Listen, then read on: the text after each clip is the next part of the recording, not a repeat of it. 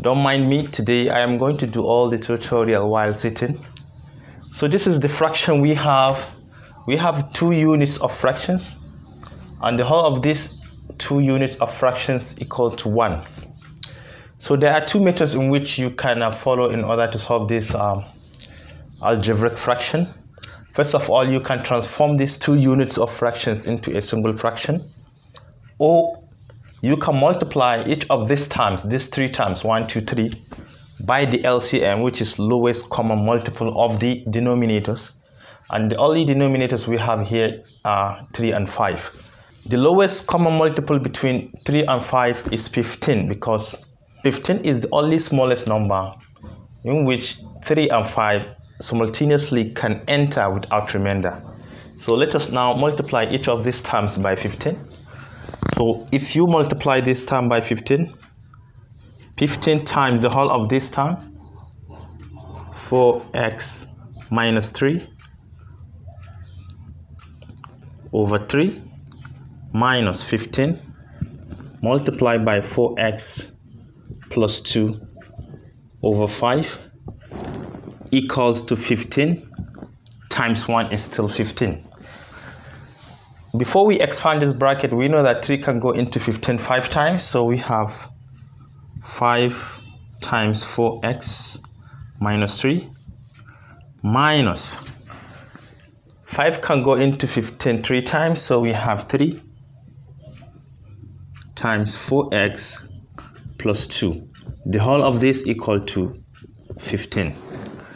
Now we are free to expand these brackets this time this we have 20 20x minus 5 times 3 is 15 then we have negative 3 the mistake people are making is multiplying positive 3 with the terms in the bracket instead of negative 3 you're going to take the number together with its sign. So in this case that we have negative 3 we multiply each of these terms by negative 3 Negative 3 times positive 4x is uh, negative 12x. Negative 3 times positive 2 is negative 6. And the whole of this equal to 15. Now we are going to collect the like terms, those with x together and those constant terms together. Now we have 20x minus 12x will give us 8x then negative 15 negative 6 is negative 21 and this is equal to 15 now we are moving. Now we are going to take this to the right hand side leaving only at x here. 15 if a term crosses equality sign whatever sign is attached to the term will change to its opposite. In this case we have positive 21 instead of negative 21. If we add them together, 8x will now be equal to uh, 36. Now to find the value of x, we are going to divide both sides by 8. x now equal to 36 divided by 8. x will now be equal to 4 and a half or 4.5. So this is how to solve an algebraic equation. Now let us look onto second problem.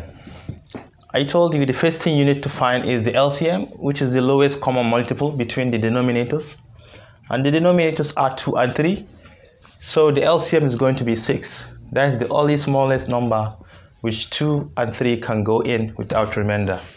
So we are going to multiply each of these terms 1, 2, 3, 4 by the LCM which is 6.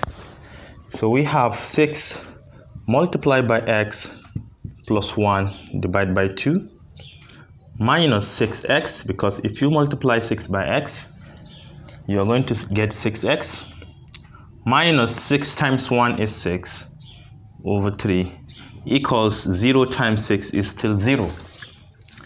2 can go into 6 3 times. So we have 3x plus 1 minus 6x minus 3 can go into 6 two times. and the whole of this equal to 0 we are going to expand this bracket.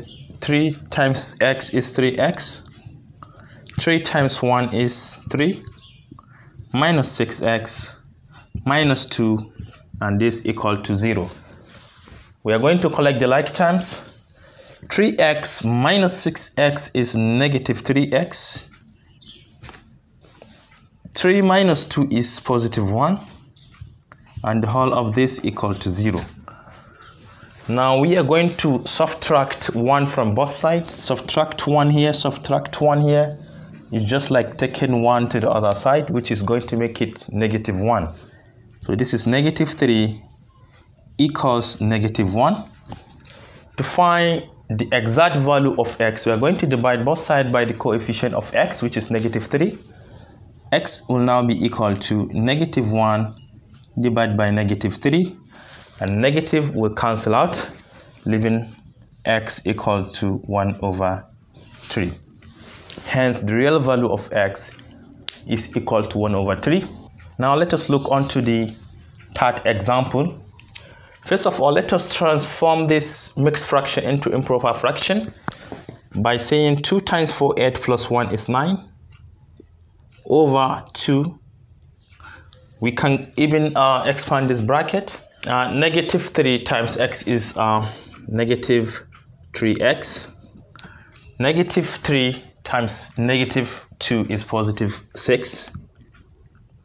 and the whole of this equals 2x plus 1 divided by 3 these are the only fractions we have 9 over 2 and this divided by 3 the LCM between 2 and 3 is 6. So we are going to multiply each of these times by 6. So first term times 6. 6 times 9 over 2 minus 6 times 3x plus 6 times 6 equals 6 times 2x plus 1 all divided by 3. Now let us simplify. 6 divided by 2 is 3 then 3 times 9 is 27 minus 6 times 3x is 18x plus 6 times 6 36 6 divided by 3 is 2 then we use that 2 to expand this bracket. 2 times 2x is um, 4x and 2 times 1 is 2 we are going to collect like terms. Normally, I used to bring all variables together with their corresponding coefficient to the left hand side and all constant terms to the right hand side. So we have negative 18x. Then if you bring this one backward, it becomes negative 4x. And this is equal to, we have 2 already there. Then we bring this one as negative 36. Then we take this one again, negative 27 negative 18x negative 4x is um, negative 22x and this is equal to 2 minus 36 is negative 34 then negative 34 negative 27 is negative 61 now to find exactly what value x is, we are going to divide both sides by the coefficient of x, which is negative 21. So x will now be equal to negative 61, okay? All the negatives will cancel out. This negative will cancel this negative. So we are left with only 61 divided by 22. A mixed fraction, this is equal to 22 can go into 61 two times and we have 17 left divided by 22 or in decimal point this is approximately equal to 61 divided by 22 is 2.77 approximately so thank you for watching. Do share to your learning colleagues.